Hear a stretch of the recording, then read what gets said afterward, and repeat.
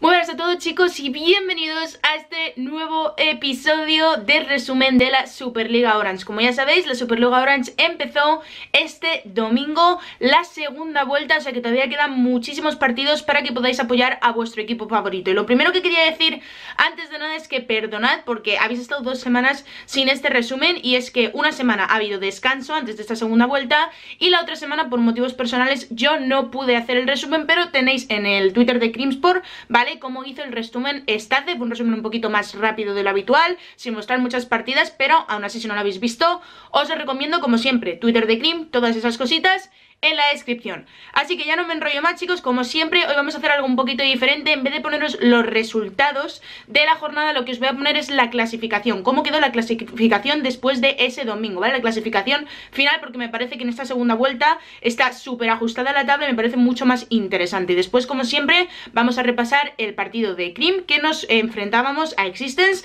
donde tenemos varios rivales, Kakashi, Aaron Pepe, Aaron Pepe antes estaba en Existence, Kakashi antes estaba en Cream y bueno, no os voy a hacer mucho spoiler lo veréis a lo largo del vídeo. Y eso chicos, ya sabéis que todo, todo el apoyo a esta serie pues es agradecido. Recordad suscribiros a Cream TV si no lo estáis, todas las informaciones pues los tenéis en la descripción como siempre.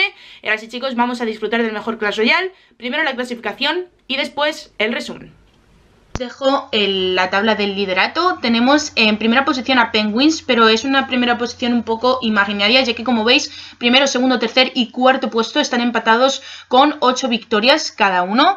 Así que eh, el, podio que todavía está por decidir, cuatro equipos empatados por arriba, después vendría Arctic con 7, Clash con 6, Clash que era uno de los favoritos para ganar la fase regular, finalmente la ganó Penguins la primera vuelta, después tendríamos a Giants en una séptima posición, que la verdad es sorprendente. GA Esports, Movistar, Cream y después en la zona de descenso, empatado con nosotros a cuatro victorias sería Timeretics y después con tres victorias Mad Lions. Pero como os digo, todavía queda toda la segunda vuelta. Me parece que esto da muchísima más información que los resultados de los partidos para que vayáis viendo quién gana quién y quién va tomando esas posiciones de Aquí de vuelta con este partido de la segunda vuelta de esta jornada. Como veis, la introducción, Cream Esports contra Existence. Ahí está Kakashi, exjugador de Cream.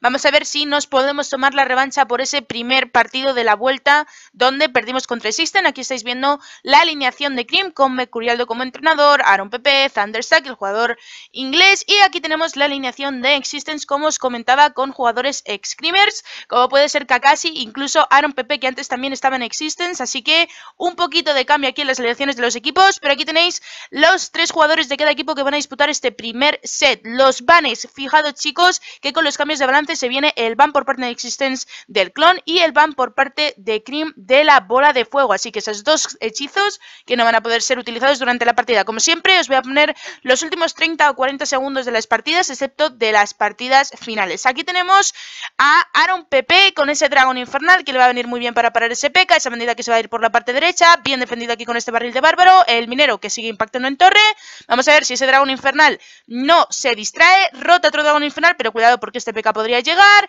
el esbirro que intenta matarlo, vamos a ver que puede tirar aquí a un Pepe, tira un mega caballero para parar todas las tropas de aire, pero esto chicos que parece que no va a ser suficiente, se le empiezan a acumular tropas, la bandida, los dos Baby Dragon, el Baby Dragon, una carta que por favor yo pido desde aquí que Supercell va, eh, eh, o sea, nerfe, porque realmente es una carta que está súper rota, está en casi todos los mazos, así que deberían hacerle aquí un pequeño rework, una pequeña bajada de algo para que eh, se pueda jugar sin que esté muy rota. Aquí, partida para el jugador de Existence, segunda partida de este primer set Thunderstar con este mazo con torre bombardera y curación, ahí la tengo uno de elixir, cuidado la máquina voladora que es muy molesta, la máquina voladora que quizás no era suficiente para tirar esa torre, y ojo con la torre bombardera porque ya sabéis que ahora que con los cambios de equilibrio cuando muere deja una bomba que hace bastante daño. Así que yo me tendría con cuidado. Aquí vienen los Hawks otra vez, con los esbirros tanqueándolos, el barril de valor para intentar hacer un poquito de daño,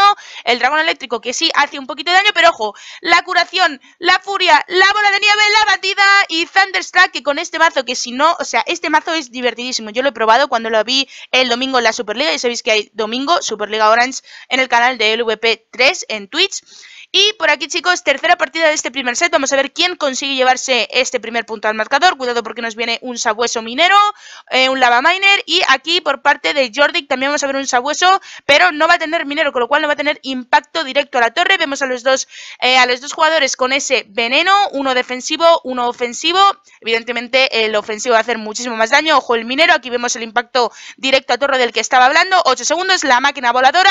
5 segundos de partida y yo creo, chicos, que si Jordik hubiese podido defender mejor, hubiese ganado a daño total de Torres, con lo cual el partido se hubiese encaminado de forma diferente, ¿vale? Pero Krim que pierde este primer set 2 a 1, y aquí vemos los cambios, va a entrar Stace, Thunderstack que ha ganado su partida, y Jordi que va a ser ese tercer hombre por segunda vez consecutiva en este partido de vuelta de la Superliga. De momento, Kakashi contra Stace, dos de los eh, modelos, por así decirlo, de su equipo, dos jugadores muy fuertes, los héroes que salvan muchísimos partidos, la princesa que está haciendo un montón de daño, queda 1.25, estamos en el tiempo extra, mm, y la princesa que sigue viva, o sea, esa princesa no se muere, esa princesa es la mejor princesa, la mejor pagada de todo el reino, ojo el leñador, lo distrae muy bien con la pandilla de duendes, el minero que tiene que poner una horda de esbirros, pero es que Kakashi tiene su propia horda de esbirros. Vamos a ver, tiene que aprovechar este último push. El jugador de Cream no lo va a hacer. Ese tronco que va a ser muy bueno va a finalizar la partida junto al veneno para el jugador de Existence, con lo cual coloca el primer punto de partido para ellos, ¿vale? El primer punto de partido que lo vamos a tener por aquí.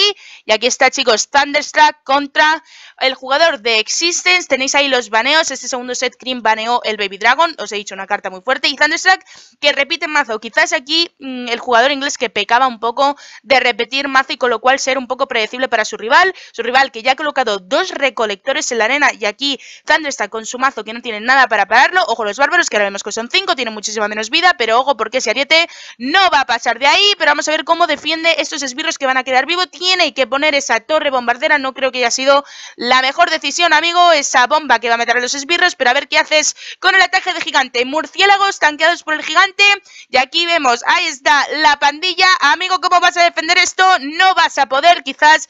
Pecó de repetir mazo, como he dicho al principio, la máquina voladora que va a evitar y va a quitar un poquito de vida a ese gigante para que no le tire las tres coronas, quedan 60 segundos, pero es que el rival que sigue teniendo ventaja de elixir, veis ahí un recolector plantado debajo, detrás de la torre derecha, donde pone una mosquetera aquí, Thunderstruck que se va con todo, ojo la horda de esbirros, los Hawks, un buen zap por parte del rival, la curación, que quizás no era lo más esperado por parte del jugador de pero ojo, el ariete que impacta por la parte de la derecha, la torre bombardera que aparece un poco tarde, sí que lidia con el, con el, con el daño.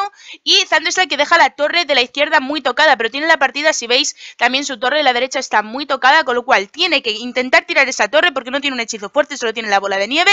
Y ahí está, ahí está, va a tirar la torre de la izquierda, pero vamos a ver cómo puede defender ahora la torre de la derecha. Le va a venir ese gigante, incluso un ariete, la mosquetera, que ya sabéis que este mazo, el que lleva el jugador de Existence es el trío de mosqueteras clásico, pero en vez de llevar el trío de mosqueteras, ahora lleva esa mosquetera que está mucho más fuerte que el trío y que vale evidentemente mucho menos esos 4 de elixir por esos 3 y con ese, mm, con ese recolector puedes rotar muy rápido.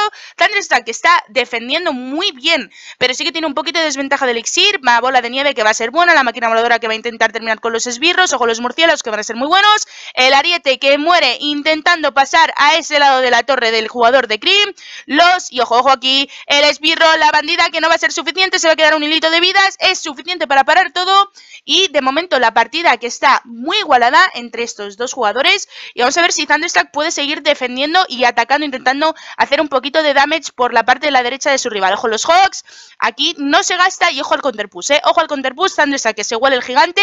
Y ahí está el gigante, ojo cuidado porque esa máquina dorada no va a poder lidiar con todos los con todos los mm, esbirros, la bola de nieve que es buena, pero vamos a ver esa ariete, esa ariete que podría impactar, esa ariete, esa ariete, esa ariete, esa ariete, la mosquetera que está ayudando en el push, el zap que es muy bueno por parte del jugador de Existence, y esto sí, y aunque pongas una torre bombardera, amigo, esta partida va a ser para el jugador de Existence que se lleva este segundo set y por lo cual el partido 2-0.